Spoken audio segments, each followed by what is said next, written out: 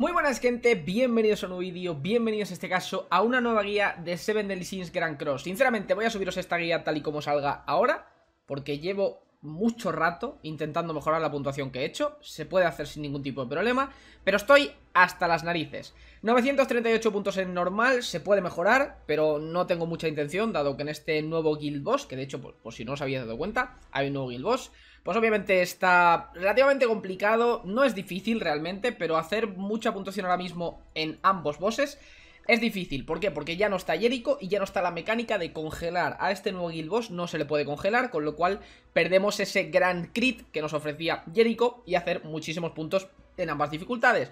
Con lo cual vamos a llevar este equipito de aquí. Podéis modificarlo un poco, realmente creo que sería el equipo óptimo. Merlin para garantizarnos tener más orbes de ulti y así poder llegar a las ultimates más rápido. Scanor para hacer el daño. Elizabeth para bajar las estadísticas defensivas del rival, que él mismo se las aumenta, con lo cual le hacemos un poco de counter. Y por último, la cuarta unidad, llevaríamos a Leoni para el normal, y a Gillian para el difícil. En el caso de, que queráis, de que queráis ser un poquito más tryhard, a Leoni en el difícil también debería ser mejor.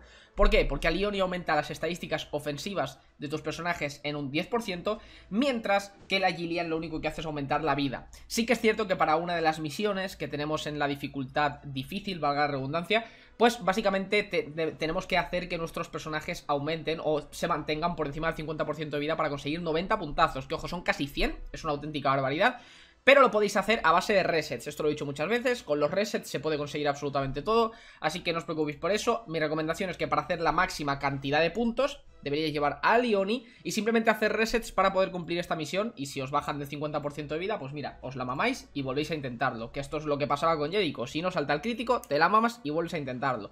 ¿Qué es lo que pasa? Que llevo muchos tries, actualmente llevo 2100 puntos, que es muchísimo, pero fijaos en lo que llevan algunos de los guales de mi hermandad, uno con 2800, luego ya por aquí es algo más normal, 2500, algo por el estilo.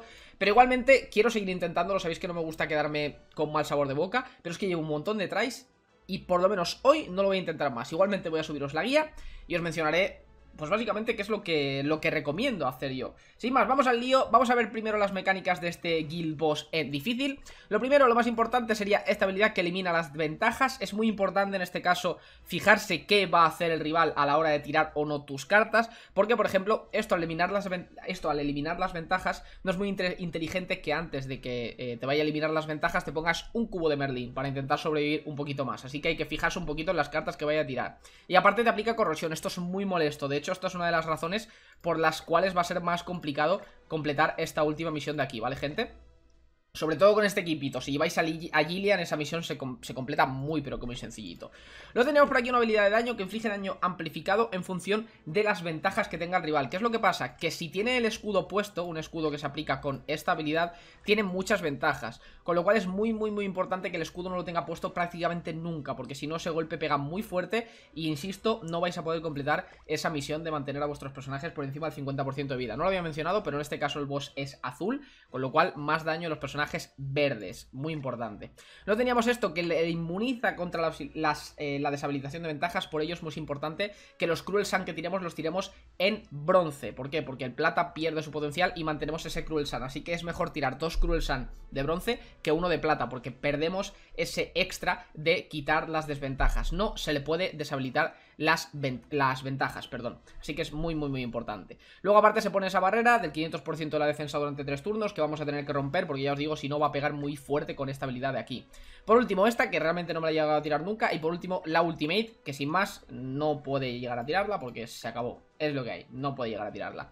Por último, la razón por la que no podemos llevar a buffers sería esto de aquí eh, que lo hemos mencionado antes, pero bueno, por esto no llevamos a Hellbrand, por esto no llevamos a Arturo, es una de las razones, y aparte no se le puede congelar o petrificar, así que nada, vamos al lío, vamos a pegarle un try, que salga como salga, ya os digo, yo he conseguido un total de 1200 puntos prácticamente, no está nada mal, pero lo intentaré mejorar. Se puede conseguir alrededor de 1500, mil y pico seguro. Y ya si eres un Wale, pues obviamente muchísimos más. Así que vamos allá, vamos al lío. Mi recomendación es tirarse la comida de, ataque, si tienes. No tengo ninguna comida de ataque.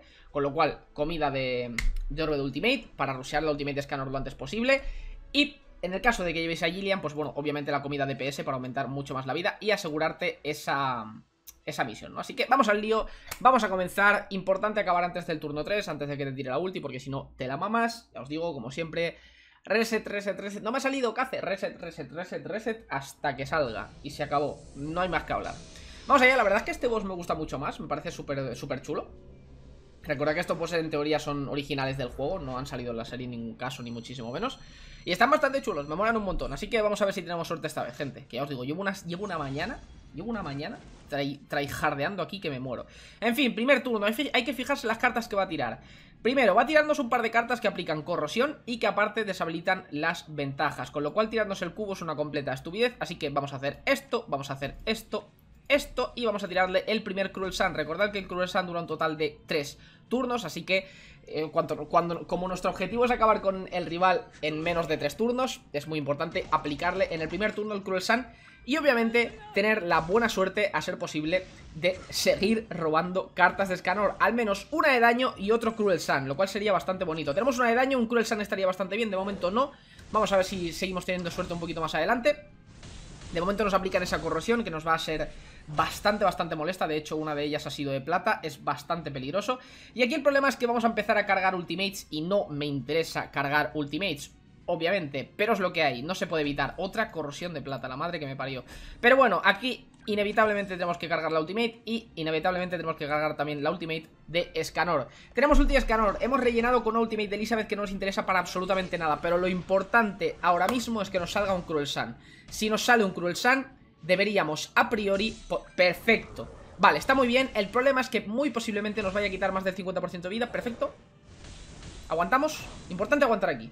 Perfecto, vale Lo importante ahora, daño de Scanor Para quitarnos la barrera Tiramos el daño de Scanor Tiramos el, el este Tiramos el Cruel Sun Tiramos la carta en plata de Elizabeth de bajar las estadísticas defensivas del rival un 30%, que sería exactamente lo mismo de las cuales se las bufa él, con lo cual le hacemos medianamente un poquito de counter, ¿no, gente? Así que le tiramos esta carta y tiraríamos la ulti Escanor. Mi ulti Escanor está a nivel 2.